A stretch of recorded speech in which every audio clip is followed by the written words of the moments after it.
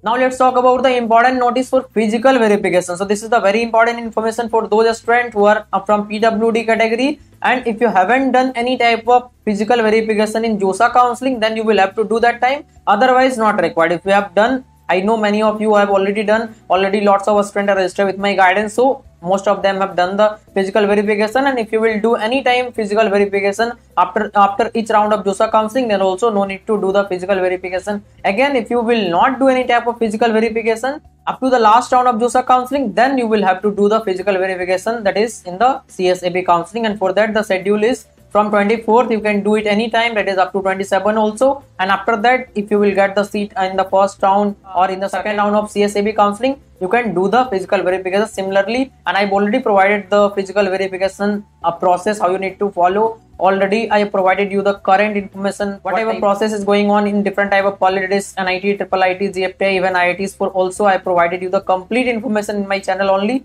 so if you're a PWD student, kindly go to the PWD playlist in this same channel. You will get lots of information. So this was regarding the PWD information, the PWD verification information. That is, there will be two intervals similar to JoSAA counseling interval one between uh, between from 24 to 27. Both days are included. It is from 24 to 27 you will able to do. If you will not able to do uh, because of any reason, you will able to do the same during the rounds also. Once you will get the college, that time you will need to go to the same college and after first round or second round both time you can do but only for those students who haven't done the physical verification in JoSAA counseling